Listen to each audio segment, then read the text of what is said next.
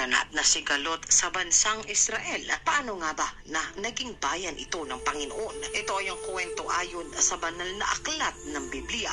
Humigit kumulang apat na libong taon na ang nakararaan ng sambitin ng Panginoon kay Abraham na mula sa tahanan nito sa Ur na malamang ngayon ay ang bansang Iraq ay maglalakbay ito sa lupain na siya namang ipagkakaloob sa kanya at sa salin lahi niya ng Diyos Ama. Ayon sa Biblia, ito naman ang sinabi kay Abraham ng Diyos Ama. Genesis chapter 17 verse 7 and 8. Tutuparin ko ang aking pangako sa iyo at sa iyong lahi habang panahon at ako'y magiging Diyos niyo. Ibibigay ko sa iyo at sa iyong magiging lahi ang lupaing ito ng Kanaan na iyong titirahan ngayon bilang isang dayuhan. Ito ang magiging pag-aari nila sa habang panahon at ako kanilang magiging Diyos. Ang pangakong lupain sa pamamagitan ni Abraham, Isaac, Jacob, nagmula naman ang labing dalawang tribo ng Israel. Ito ay sina Reuben, Simeon,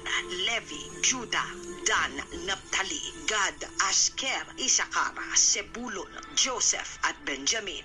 At sa pangakong lupain, sila ay nanirahan. Kasama sa nasasakupan ng pangakong lupain ng Diyos ay ang Gaza, ang Golan Heights. Ito naman ang sinasabi ng Biblia. Genesis chapter 15 verse 18.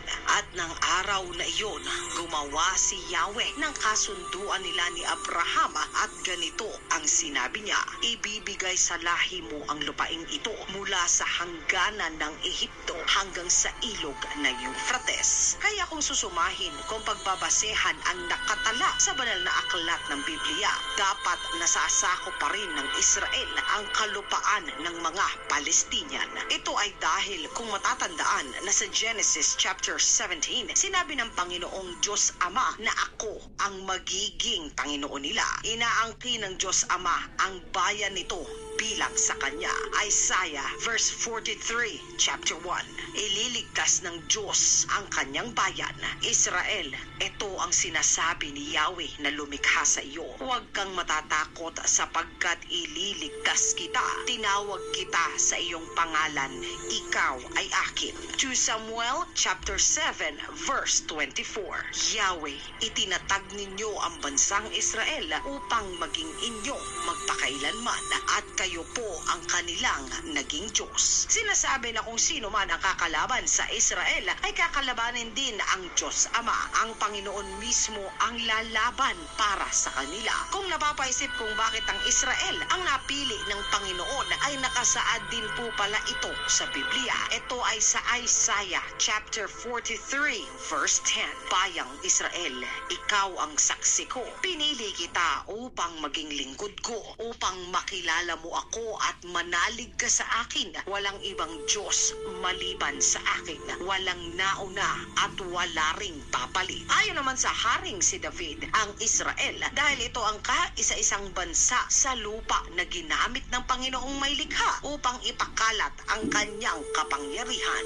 Isaiah chapter 49 verse 3. Sinabi niya sa akin, Israel, ikaw ay lingkod ko. Sa pamamagitan mo, ako'y pupurihin ng mga tao. 2 Samuel chapter 7 verse 23. Walang bansang maitutulad sa Israel. Ito'y hinango ninyo sa pagkaalipin upang maging inyong bayan. Ito lamang ang bansang pinagpakitaan ninyo ng kakilakilabot at dakilang bagay para sila'y matulungan. Itinaboy ninyo ang ibang bansa at inalis ang kanilang mga Diyos-Diyosan pagdating nila.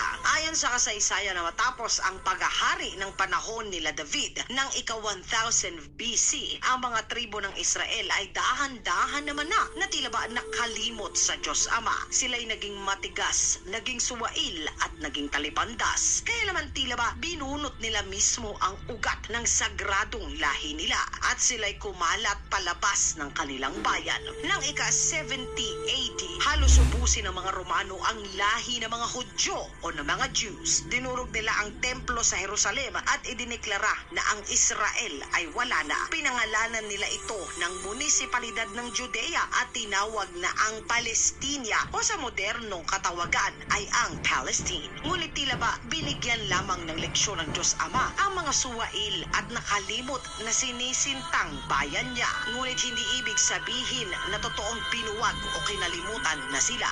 Jeremiah chapter 3 verse 8 Nakita rin ng Juda ng pinalayas at hiwalayang ko ang Israel dahil sa pagtataksil sa akin at pagiging masamang babae. Ngunit hindi man lamang natakot ang taksil ding si Juda, naging masama rin siyang babae. Isaiah chapter 11 verse 12 Magbibigay siya ng isang palatandaan sa mga bansa at titipunin niya ang mga anak ni na Israel at Juda na itinapon sa ibang lupain. Pauuwiin ang mga nangalat na anak ni Juda mula sa apat na sulok ng daigdig. Kaya naman mga katinagalog ko sa nangyayaring sigalot sa bansang ito, makikita natin ngayon ang tibay ng salita ng Diyos. Sa tingin ninyo mga katinagalog, malalambasan ba ng Israel ang yugtong ito sa kanilang kasaysayan? Isulat po ang inyong saloobin sa comment section sa ilalim upang sama-sama naman po na ito ay ating basahin. Maraming salamat po mga katinagalog ko.